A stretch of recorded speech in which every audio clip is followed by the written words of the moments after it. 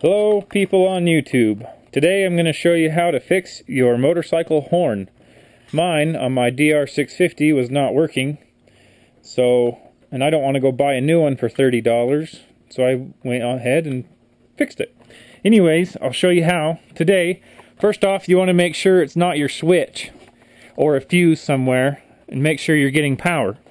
So my horn was mounted right up in here. I unbolted it, unplugged it, See, and I took my two little my plug here, took my multimeter, stuck the prongs in, made sure I had voltage by pushing the switch. I have voltage there, so I can confirm that it's not the bike that's the problem, it is the horn. And then the next step you do is you take the horn, set you guys right over here, take the horn, and you test for resistance between the two wires because there's a coil, a magnetic coil in there.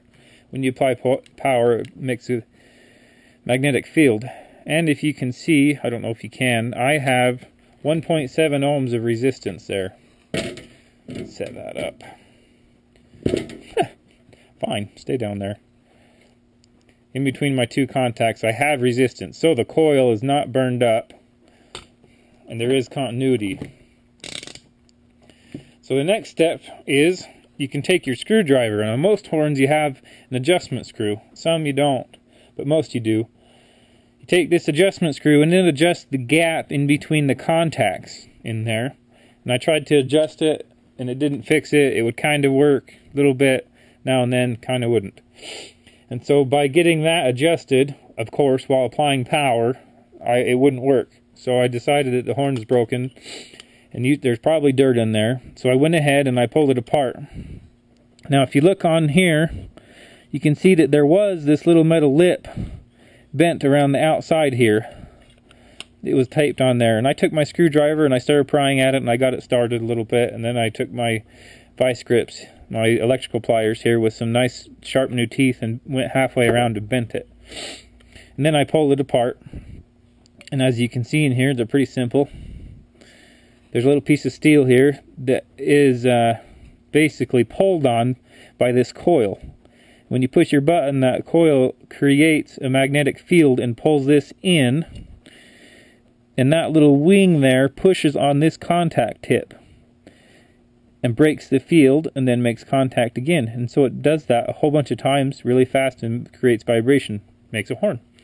Anyways, as you can see, this screw if you turn it in or out, it will raise or lower this upper contact.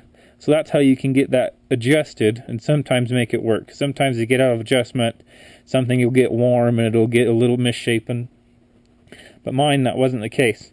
Mine was the case that this gasket here that was in between the two pieces had all shriveled up and water got in here and dirt was in here. So my contacts are dirty. So I took a little piece of sandpaper I'll show you with this gasket here. And I put it right in between the two contacts and I sanded them, cleaned them up. So I cleaned them up all real nice. And then I, I've already tested it and put it back together. I just want to pull it apart and show you guys. Once you get this all put back together, you just put it back on and bend the ends all back down, bolt it back onto the bike, and then it works because all the problem was is my contacts were dirty in there. Anyways, uh, that'll save you save you 30 bucks if you have half an hour to do the work real fast and pull it apart. All you need, like I said, is your multimeter or screwdriver and whatever it takes to get your horn off.